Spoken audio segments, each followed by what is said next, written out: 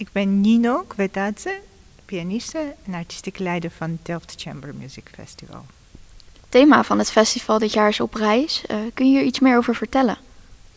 Inderdaad, we gaan op reis samen met muziek. En met deze thema, we gaan een beetje een geschiedenis van klassieke muziek vertellen. En hoe het klinkt in, in verschillende landen, in verschillende omgevingen. Dus uh, het zou heel interessant uh, worden, want we gaan natuurlijk naar Wenen en Parijs.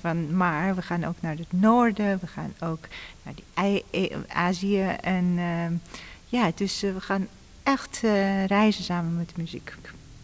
Hoe heb je deze landen uitgekozen? Het is echt uh, dankzij muziek.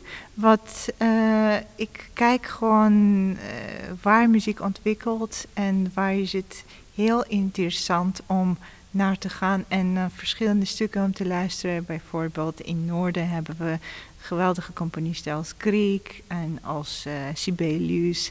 Maar natuurlijk ook Franse componisten hebben we. En ook, ja, het is zoveel. En uh, dus, um, ja, ik, ik heb gewoon met, met die stukken en met de verhalen die achter de stukken staan. En het verhaal van de klassieke muziek. En het ziet zoveel.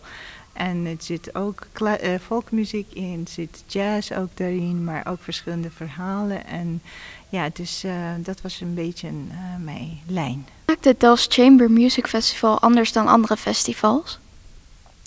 Nou, natuurlijk de sfeer van Delft, want het is zo mooi hier. We zitten in het hart van Delft, in de oude stad natuurlijk, in het prachtige Prinsenhof Museum.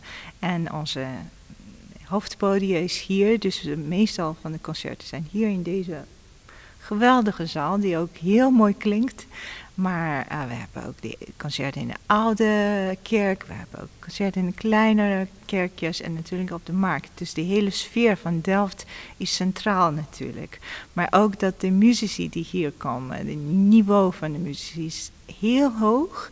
En uh, ze komen hier naar Delft en sommige mensen kennen elkaar nog niet. Dus alles gebeurt hier op deze podium. We hebben ook um, ja, onze Young Masters Academy, dus waar wij een jonge, hele goede muzici hebben uitgenodigd. En ze spelen samen, maar niet alleen maar samen, maar ze spelen ook met al ja, grote muzici met een grote ervaring. Ik heb al twee jaar geleden um, ja, gewoon de Delft Chamber Music Festival meegenomen als een artistieke leider. En ik zie dat het is meer bekend geworden. En het is echt een, ja, een, uh, een van de belangrijkste um, momenten in Delfts leven is geworden. Dus, uh, en gegroeid met aantal concerten, met aantal verschillende locaties.